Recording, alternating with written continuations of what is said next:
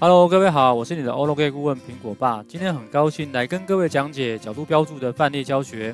我今天会说明两大技巧。第一个呢是标注形式的设定，包含具体指令的分享。第二个呢是动态图块的操作。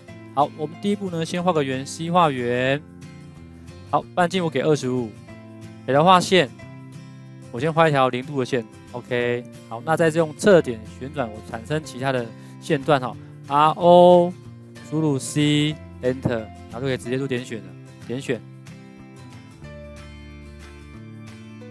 ，OK，没问题。好，完成基础图形呢。第二步呢，我们来做呃标注形式的修改。好，输入 D，按下 Enter，开启标注形式管理员，选择修改。好，我们要修改几个地方哦。第一个地方呢是线页签这个地方，请你抑制我们的标注线，再抑制我们延伸线，就是标显示。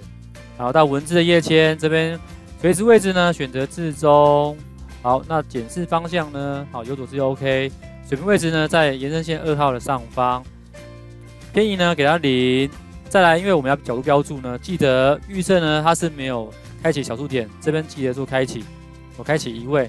那分隔符号我使用点啊，小数点，不要用逗点。好，这是预设值然后。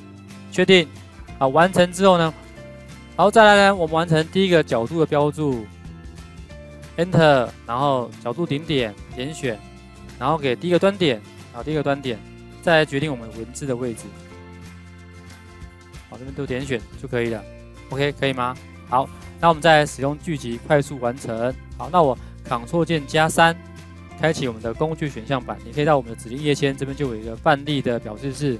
好，那我这边按下右键做复制，再按右键做贴上，按右键选择性质给名称。我这边选择。输入角度标注名称，你制定了哈，我这边先展示，然后将我的剧集呢做贴上，这边剧集 Ctrl V 贴上，按下确定就完成啦，然后再直接做点选，OK，那我已经把刚刚的动作呢把它写成一个指令码，你只需要点选，点选就完成，点选，点选完成，好，那因为它的标注特性它有时候会在里面，OK，没问题，好，M 移动的时候呢。它也会跑来跑去啊，因为它是标注的特性。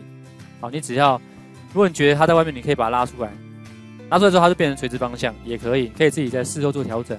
OK，这是关于标注的方法。好，OK，这是我们标注形式的角度标注范例。来，我们这边请试一下。好，接下来来跟各位说明动态图块的操作。好，我们先输入 B 一。开启我们的编辑图块定义，对不对？好，这边是空的，你可以给个名称，按确定，它就会直接进来我们的图块编辑的空间。好，那我直接画线，L 画线，零度点零，给方向，输入距离，输入三十。好，画完一条线之后呢，我要来插入功能变数，选择插入功能变数，我使用呃我们的类型呢名称呢选择物件。好，这边有个按钮，选择物件，选择线，我要截取它的角度。那其他格式呢？我在字尾加入一个呃度数的符号，百分比百分比低，按下确定。好这，按确定。那插入呢？我的对正点我使用正中，MC Enter。好，抓端点，完成。那现在我的功能变数跟线呢要做一个约束。好，选择约束呢，这边有个重合，先选择线，再选择我的功能变数，Enter。它们重合之后呢，OK，没问题了。那我们现在来做参数。我我会赋予它两个参数的，第一个呢是线性参数，因为我让我的呃文字呢可以做拉伸。好，端点到端点，选择参数呢，按下右键选择性质，测点数目呢跟它设定为一个，好关掉。再来有参数之后要加动作，动作我这边使用拉伸的动作。好，先选择参数，好第一点点选，再给框架。再来呢，做一个选取物件。那记得这个呃功能变数呢不要被选取。输入 R Enter 移除物件。OK Enter。再来第二个参数，我们给它旋转参数，因为我们是要角度标注，对不对？好，我们这边选择旋转的参数，一样好，从零点开始，我抓终点位置，你任意你自己决定。OK。再来给我们的动作选择旋转。一样先选择参数，好，再来全选。全选的时候呢，记得我们的功能变数不要选取。输入 R，按下 Enter，移除物件，啊移除我们的功能变数，OK，Enter。好，我这边直接关闭之后呢，做储存，储存变更。好，我使用 I 插入我们的图块面板，这边就会有个量角器。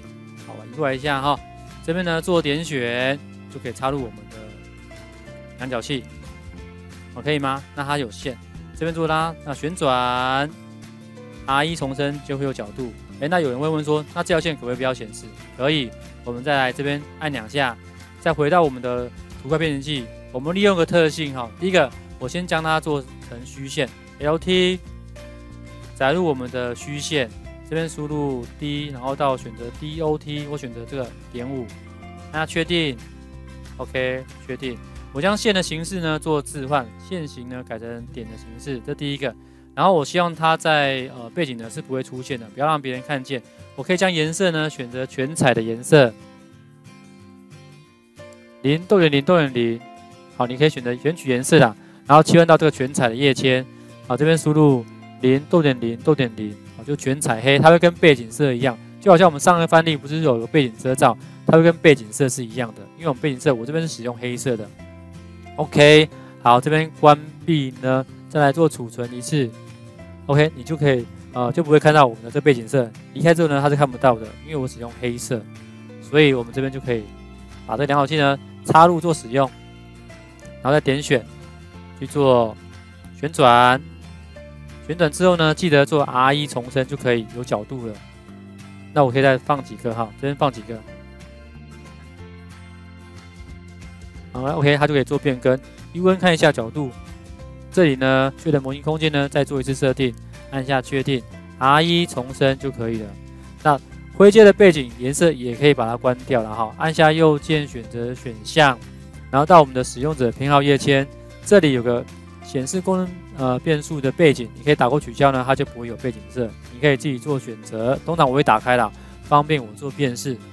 以上呢是我们的角度标注的呃标注形式的设定，跟我们的动态图块的操作。那具体指令呢，我会分享在论坛，有兴趣你可以回论坛做回文下载。好，我是苹果爸。如果你觉得今天的影片呢对你的工作或对你的学习有帮助，请你留言告诉我。那也请你帮我订阅、按赞、加分享，我需要各位的支持。好，那我们就下回见喽，拜拜。